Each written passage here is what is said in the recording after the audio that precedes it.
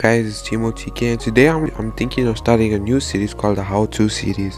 What this means is I'm going to show you how to be better in Free Fire whether that be in Clash Squad Ranked or even Ranked BR mode because we all want to get better, right? Please, with no further ado, please like and subscribe on today's video so that tells me that you like the series and I can do more like this, show you how to get better in the game.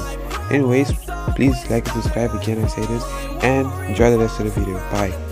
Step 1 is becoming good in Clash Ranked. If you have a character like someone with a high perk who can one-shot anybody with, with his fist, then don't buy a gun in the first round. It saves you money and you can buy better weapons in the second round to give you an, an advantage over the opposing team. Yes, like this. Hit this dude on the head. And if, if they run away, you can just hit them with USP. 2 is where the fight really kicks off because there's all types of guns. Do not go for the sniper if you have the most enough on feet unless you're the god sniper. But the best guns generally to go for would be the MP5, the AUG, and the MA or the Macro, whatever you want to call it. And the Kingfish is also good too. But as a beginner, you probably want to take the MP5 or the AUG. Oh shit, I forgot to check it out. It's probably the best place where you can fill up your armor and on gloo walls because gloo walls are very necessary. Maybe even mushrooms. But please, and then if you have leftover money, you should probably go for the a shotgun for close combat. These guys, are literally too too old right now. But you're gonna them anyways.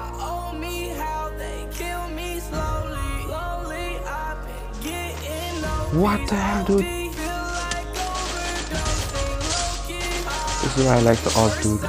Run!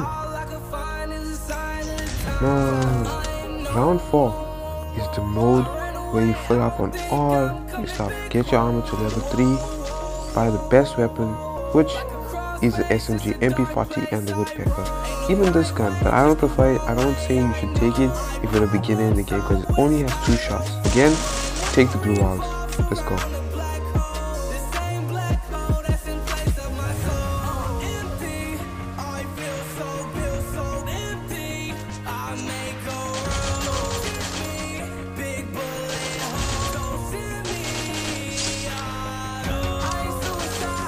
The tip for Clash Squad is remember that this is a team game mode. So never run alone. Work with your teammates always and you will always win the match. Trust me. So this is a fine example that I had today. To the team and that's and absolutely shredded them.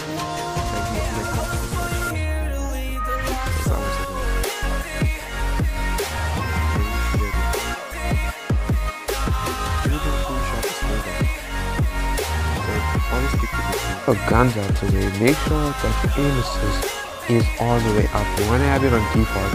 I have it on precise scope, which again, I'll say why I use it in a different video. So make sure your aim assist is high, and then you can hit any shot any day.